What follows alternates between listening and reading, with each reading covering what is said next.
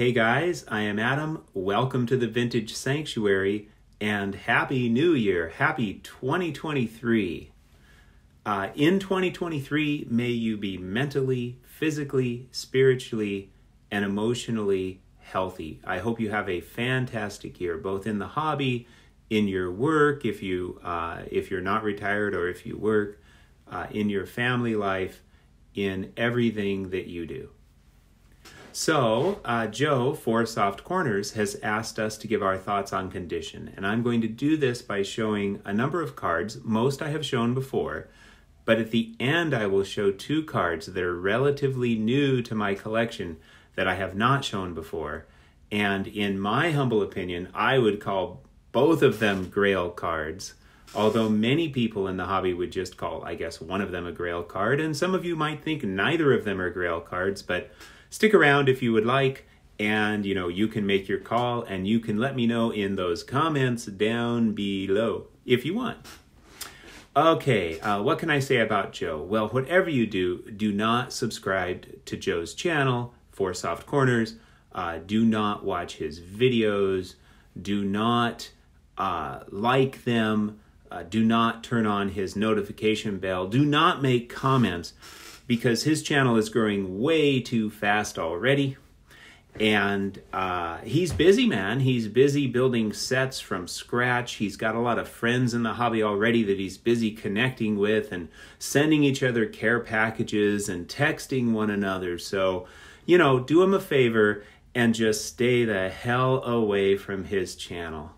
All right, now that we have that out of the way, Okay, you know I'm totally joking. Go check out Joe for Soft Corners. Awesome guy. He's got a great sense of humor, so I think he appreciated uh, my humor there.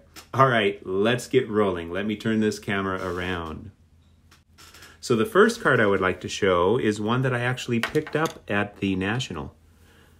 And it's in a grade of three. By the way, I, be I believe the rest of the cards that I am going to show have a grade of less than 3. So lower grades. Notice how off center this is. I mean, it is just about miscut to the bottom. But you know what? I absolutely love this card. Uh, clean image, nice registration, uh, absolutely off center, but wonderfully sharp. The back is gorgeous as well. Plus, I did not uh, pay a lot of money for this card, you know, when comparing it to the price of this card in a very good three. So uh, I realized that card would drive some people nuts because of the off centering, but I just love the card. Is it possible I could upgrade it someday? Sure, it's a possibility if the right 1941 play ball Ruffing, you know, came along at the right price, then it could happen. Um, but I'm happy with the one I have. So uh, you know, that's pushing it. I mean, if it were down even a little bit more, uh, then I probably would not be happy with it and I would just sell the card. By the way, let me just say that if if I don't like a card, if something bugs me about it, then I'll just sell it and um, and get something that I like and I enjoy. There's no card that I must have. So if I have to give so much on condition in order to afford a card that I no longer like the look of the card, then I'll just move on and, you know, not pursue that card or wait patiently and maybe I'll get lucky and uh, a really low grade will come along that that uh, you know I can live with uh, where I um, where whatever defects it has don't don't bother me. All right, moving on. Uh, this is the 34 to 36 batter up Bill Dickey in a 2.5 you know, it's got a little toning, it's got a little wear, but overall, I think this card is just gorgeous. Uh, very happy with it. Uh, really nice color. Blank back. Um, so, a little bit of paper wrinkling here, but it doesn't really show up on the front, or if it does, it's very, very light. I'm not a fan of creases. But, you know, I just consider that kind of some minor paper wrinkling there that doesn't doesn't quite uh, go to being a a full crease, if you will. So I'm cool with that. By the way, I also had a 1.5 of this card that was a different color, and I ultimately sold it because uh, it had some paper wrinkles right across the face, and part of the number 30 was scraped off, and uh, that just ended up being a deal breaker for me. Loved, I, I, I would love to have a copy of that card, but not that copy. So I went ahead and let it go, and who knows if I'll if I will find another. We will see. But I hung on to this one because uh, this one meets my standards, and I don't see myself ever looking to upgrade this 34 batter up Bill Dickey. I really like it the way it is. All right, 51 Bowman and a 2.5 uh, Yogi Berra. Notice you can see some light paper wrinkling up here in the upper left. You can see a little toning on the corners, a little corner wear, but wow, the registration and the color. Uh, and plus, I did not pay a lot for this card. See, you can see a little, I think probably factory paper wrinkling down here. But this is a card that I did not pay a lot of money for relative to other copies of this card. In fact, I think I got a fantastic deal. So I'm happy with it. I love it just the way it is. Is it possible that another copy could come along and I could upgrade at some point? I mean, it's possible, but it's pretty unlikely. Really happy. I got into that card for not much money, and uh, I think it's just gorgeous. So that works for me. Okay, continuing on. This is a 52 Topps Yogi Berra. Now, here's what's interesting. This is an absolutely gorgeous card and a good two. Uh, the centering is just phenomenal for a 52 Topps Yogi Berra, and the sharpness is phenomenal for a 52 Topps Yogi Berra, as well as the color. It is just, uh, you know, really vibrant. So this is an amazing card. So why is it a two? It's got just a tiny bit of paper loss on the front and kind of mottled paper loss on the back, mostly up here by the uh, number 191. But I can live with that.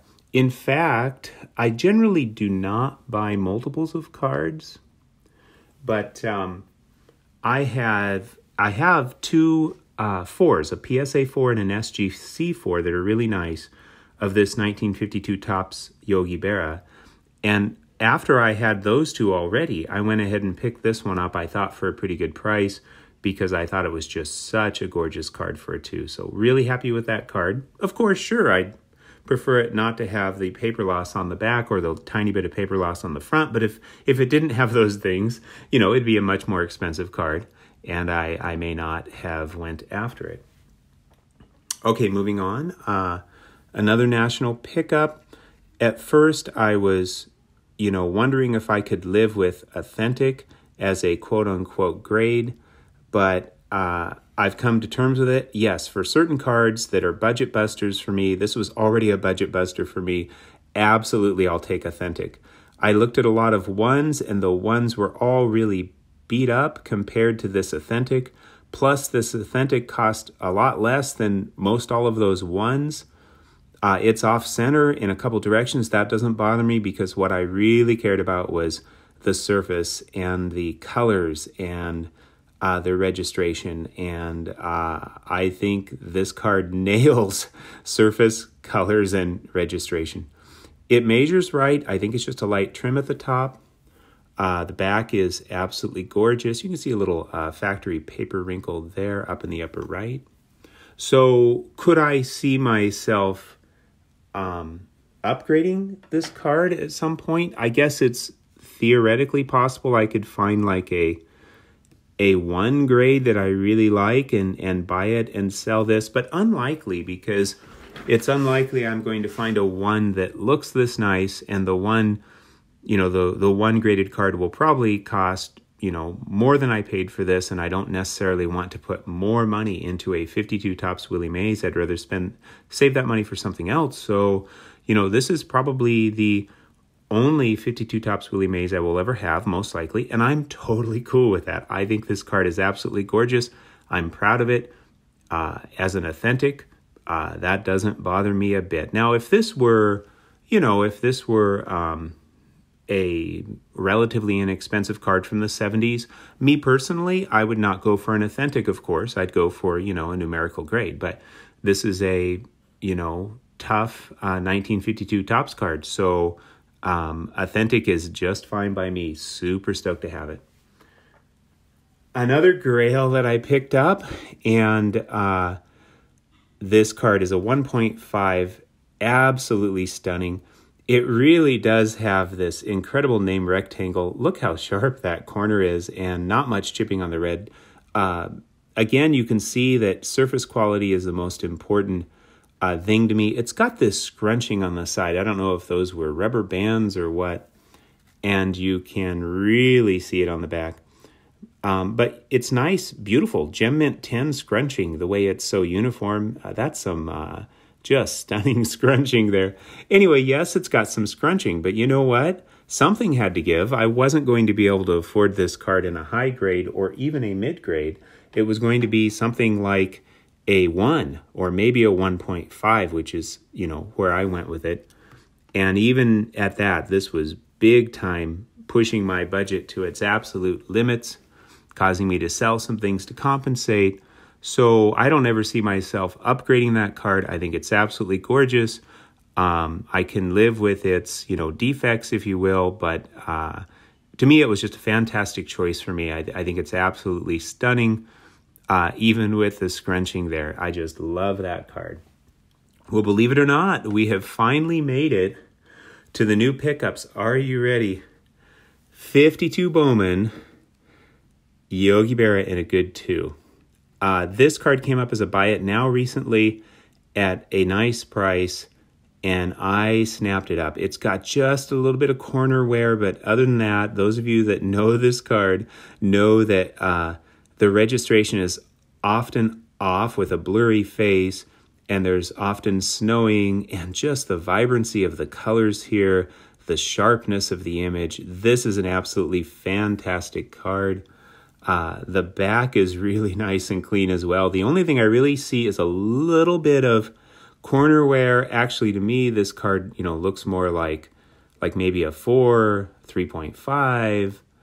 Um, but down by his belly button, I don't know if it'll show up on the camera, right about kind of in there, there's like this tiny little depression or something. It doesn't even break the paper. I, am wondering if that made it a two because this card does not seem to have any any um, creases or anything. So, wow, that's always super exciting when you can get a lower grade card at a lower price that's just just has stunning eye appeal. I'm not a big fan of corner wear, but you know I can live with that little bit of corner wear there, and I actually think um, I'm I'm softening up some, Joe. I actually think that little bit of corner wear, you know, gives it some nice vintage appeal. Can't believe I'm I'm saying that. So uh, that's probably a card I'll never upgrade. I mean, I just really love it. Uh, you know, we all love to get a card. Uh, I think almost all of us anyway, unless we collect a different way, just to get that card in a lower grade where the the eye appeal transcends the grade and we don't have to pay too much and we're super happy with the card. I think we all, you know, love that. Okay, grail time. I have always dreamed of owning a card that was one pinhole away from being a much higher grade. This was a buy it now, and I snapped this thing up. Must confess, I sold a few coins to compensate.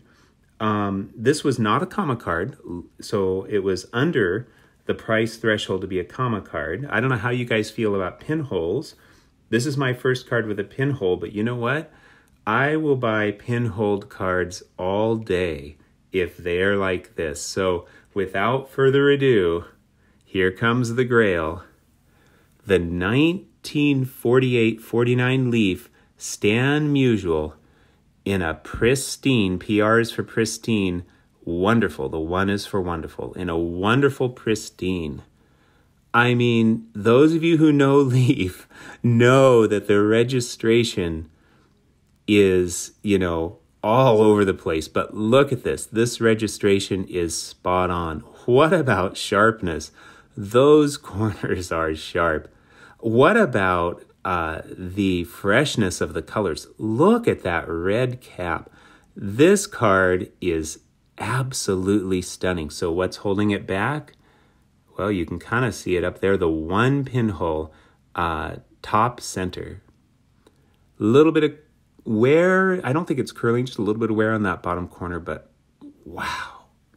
Okay, PSA put plastic, you know, on the back side of the card, so it's a little curling on these top corners. Um, so it's harder to see, but the back is nice and clean. That pinhole uh, from the front, you can kind of see it between the Stan and the Musial on the top. This card, I was sto- so stoked, so stoked. And you know, uh, if you're interested, to go on eBay and look at all of the 48, 49 leaf Stan Musials. And of course, if somebody doesn't like pinholes, fair enough, I get that. I don't mind at all. Uh, but if they don't like pinholes, this would not be the card for them. But if if the pinhole doesn't bother you, compare this to just about any uh, 48, 49 leaf Stan Musial on eBay or anywhere else for that matter that's for sale.